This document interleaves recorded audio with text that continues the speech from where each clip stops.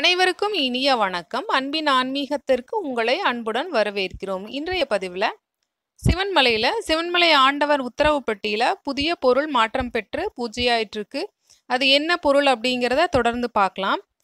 திருப்பூர் மாவட்டம் காங்கயத்திற்கு மிக அருகே உள்ள சிவன்மலையில் சுப்பிரமணிய சுவாமி கோயில் இருக்குது இந்த கோவிலில் முருகப்பெருமான் எழுந்தருளி பக்தர்களுக்கு அருள் பாலித்து வருகிறாரு.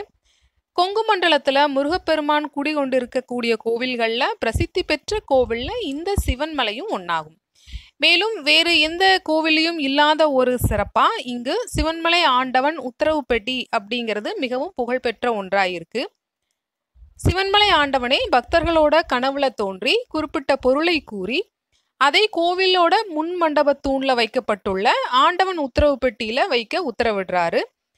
கனவுல உத்தரவு பெற்ற பக்தர் கோவில் நிர்வாகத்தை அணுகி விவரத்தை கூறியதுக்கு பிறகு சுவாமி கிட்ட பூ கேட்டு அதன் பின்னர் கனவில் வந்த பொருளை வந்து அந்த சிவன்மலை ஆண்டவன் உத்தரவு பெட்டியில வைப்பாங்க. இவ்வாறு அங்கு வைக்கப்படக்கூடிய பொருளுக்கு கால நிர்ணயம் ஏதும் கிடையாது.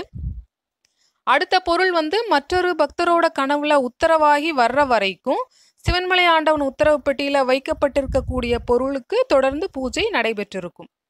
இவ்வாறு உத்தரவான பொருள் உத்தரவுப்பட்டியில் வைக்கப்பட்டிருக்கக்கூடிய காலத்துல அந்த பொருள் வந்து சமூகத்துல ஏதாவது ஒரு வகையில தாக்கத்தை ஏற்படுத்தும் அப்படிங்கிறது இது நாள் வரையும் இருந்து வரக்கூடிய நம்பிக்கை.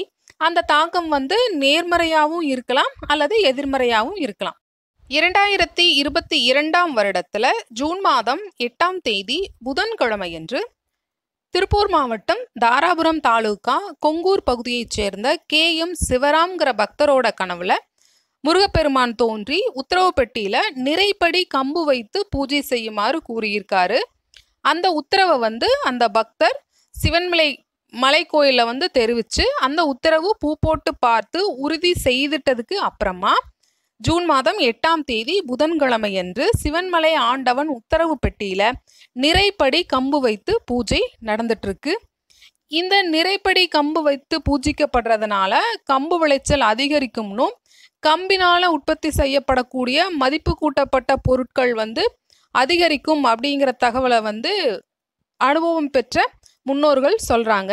இதுக்கு முன்னாடி இந்த சிவன்மலை ஆண்டவன் உத்தரவு பெட்டியில ஏப்ரல் மாதம் மூன்றாம் தேதியிலிருந்து மூன்று கிலோ விபூதியும் ஏழு எலுமிச்சை பழங்களும் வச்சு பூஜையாயிட்டு இருந்தது. சிவன்மலை ஆண்டவனின் உத்தரவினால் உலக மக்கள் அனைவரும் செழிப்புடன் வாழ சிவன்மலை ஆண்டவனை வணங்கி இந்த பதிவினை நிறைவு செய்கிறோம். இப்பதிவினை இதுவரைக்கும் முழுமையாக கேட்ட உங்கள் அனைவருக்கும் மிக்க நன்றி.